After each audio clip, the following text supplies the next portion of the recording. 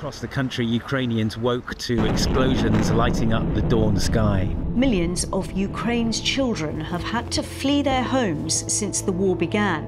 Two thirds of them are now displaced. 92% of Gaza housing has been damaged. Hundreds of thousands of parents in Gaza struggling to feed their children. In the Democratic Republic of the Congo, these children have had experiences that are hard to heal from.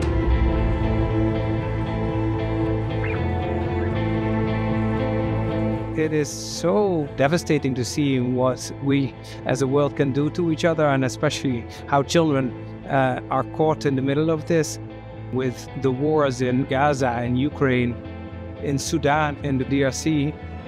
The numbers of children in uh, areas of, of armed conflicts are just rising very, very rapidly. What can we do to contribute to reducing that suffering?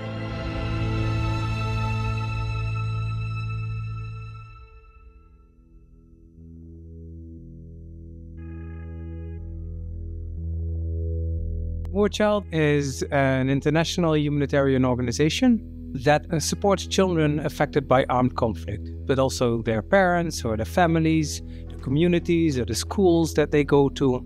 And we do that primarily through uh, supporting children in their mental health and psychosocial well being, by uh, supporting them in their education, as well as by reducing the child protection risks that they are faced with.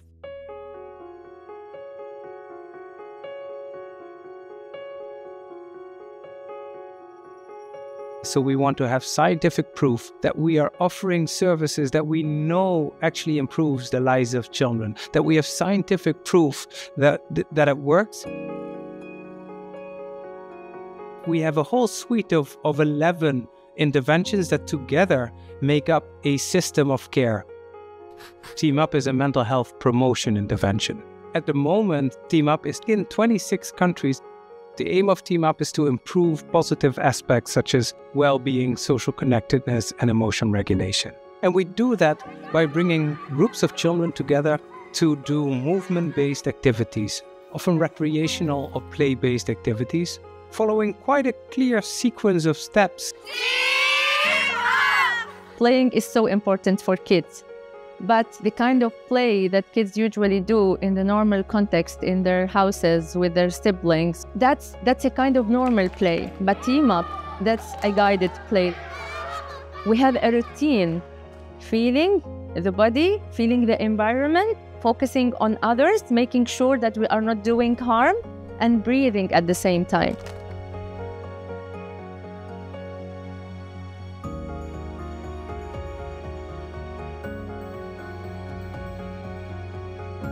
The sessions, they are all organized around psychosocial themes that are important to children affected by armed conflict. So, for example, dealing with stress, creating friendships, uh, dealing with anger. So, we are trying to teach them how to respect each other, how to respect the boundaries, how to be considerate, how to be mindful, accepting the differences between each other.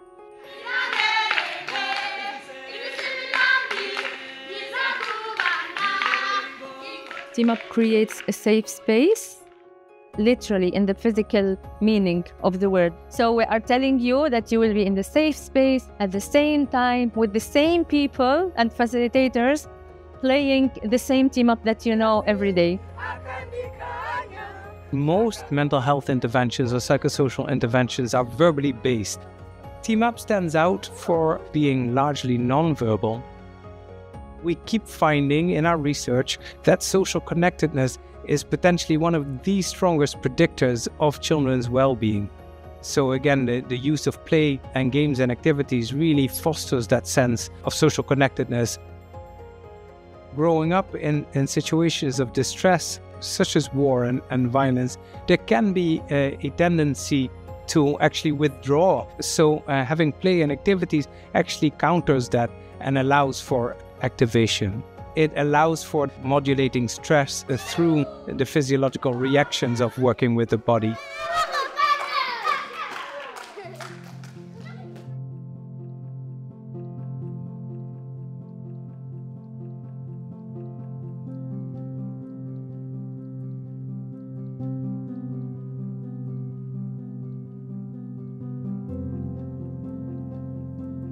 Ubundi wa- wabaga um- ubona ari umwana utishimye. Mbese ukamubaza ese urarwaye akakubwira hoya ukabona ntashaka gukina nubwo yaba ari kugenda akagenda ari mu bandi ukabona ahari arahagarara nk'igipupe. Tuba turi mu ishuri baraza ngo turi kumva dushaka timapu tutaramenya timapu icyo ari cyo turavuga ngo dupfa kwikiriza tutabizi. Timapu timapu timapu yiyumvamo neza cyane. Imikino nkunda gusumba indi ni ukuririmba no gukina agapira n'imigozi. Ukuntu nari meze natarajya muri timapu naratukanaga nakarwana sinumvira ababyeyi. Maze kujya muri timapure ibyo byose nta na kimwe nongeye gukora. Nava nko ku ishuri n'imikino twakinnye muri timapu nayibuka. Nakareba nka bagenzi banjye nkajya kuyibigishiriza ku kibuga.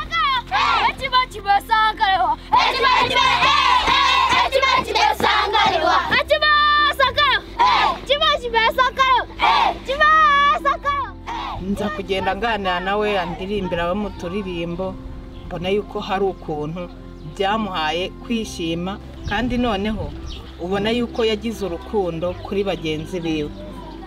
Rero mbona yuko imikino akina muri hari kinini yamukoreye mu buzima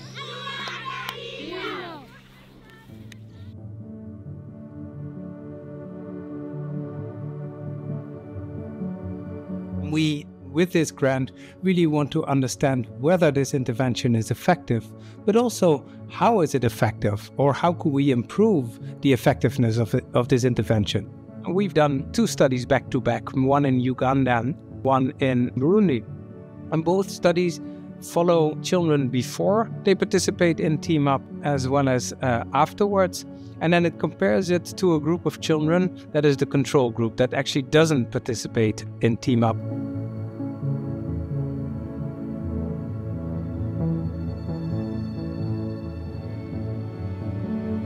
So those are, are a number of improvements that we're seeing when comparing before to after changes uh, when participating in Team Up.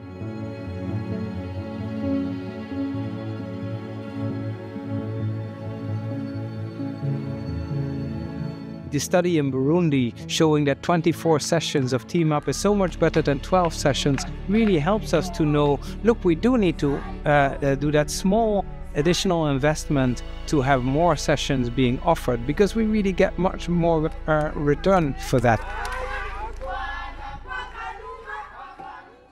In humanitarian settings, there's increasing proof for the effectiveness of treatments, but not so much for these mental health promotion interventions that are aimed to reach whole populations of children and trying to improve uh, uh, the overall population well being.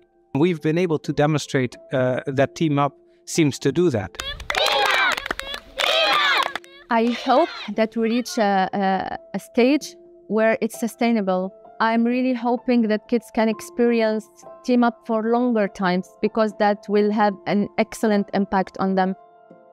mu myaka iri imbere sasa rero nifuza kuzigana akarangiza na kabadafita bizamfasha abantu mu- ku- kwa muganga nakaza- nabona n'agasenge nakaza nagahezaho umwuga na- na- bakaba bifashisha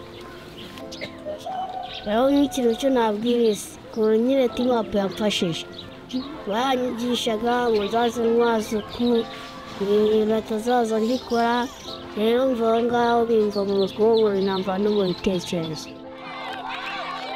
Implementing Team Up is an amazing experience. When you see the, the kids smiling, when you see them very happy, having a very short time to escape all the harsh reality that they are living in, it was very rewarding, I would say.